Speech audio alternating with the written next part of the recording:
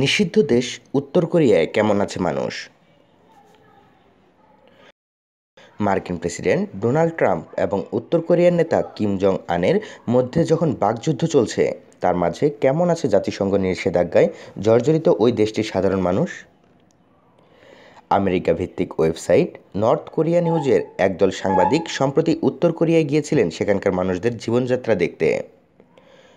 Wonsan শহরের কাছে উলিম জলপ্রপাতের কাছে পিকনিক করছে এই উত্তর কোরিয়ানরা।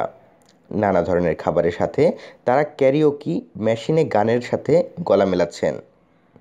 উত্তর কোরিয়া নিয়ে আন্তর্জাতিক অঙ্গনে যে উত্তেজনা, তার ছিটে ফোটাও দেখা যাচ্ছে না এদের মধ্যে।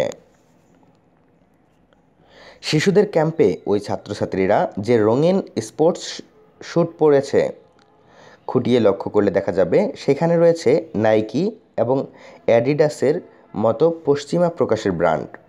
এগুলো সম্ভবত নকল। আর এই ছেলেমেয়েরা সে সম্পর্কে যে খুব একটা সজাগ, তাও ঠিক পরিষ্কার না।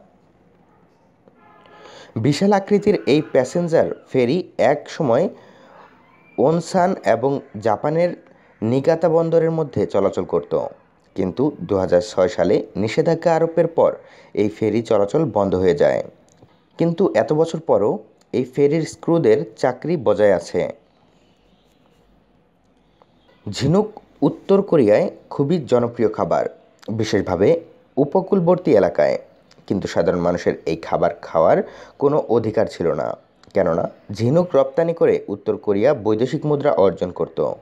কিন্তু আগস্টে জাতিসংঘের সর্বশেষ নিষেধাজ্ঞার পর উত্তর কোরিয়া থেকে সব ধরনের সামুদ্রিক পণ্য রপ্তানি বন্ধ হয়ে যায়। ফলে মানুষ এখন ঝিনুকের স্বাদ নিতে পারছে।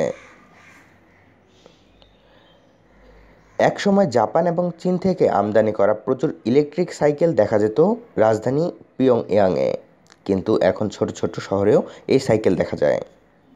এর মানে হলো, ধীরে হলেও উত্তর কোরিয়ার অর্থনৈতিক সুফল গ্রামে গঞ্জে পৌঁছতে শুরু করেছে, কিন্তু পরিবহন সমস্যা এখনও প্রকট।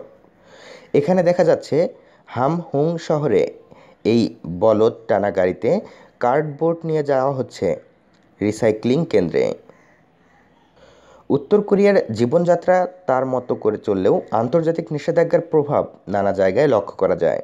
কোথাও কোথাও পেট্রোল পাম্প বন্ধ হয়ে গিয়েছে। কেসং শহরের এই অ্যাপার্টমেন্ট ব্লকে দেখা যাচ্ছে বিদ্যুৎ সংকটের জন্য লোকজন তাদের জানালায় ছোট সোলার প্যানেল বসিয়েছে। কিন্তু সরকারি প্রচারযন্ত্র উত্তর কোরিয়ায় খুবই দক্ষ।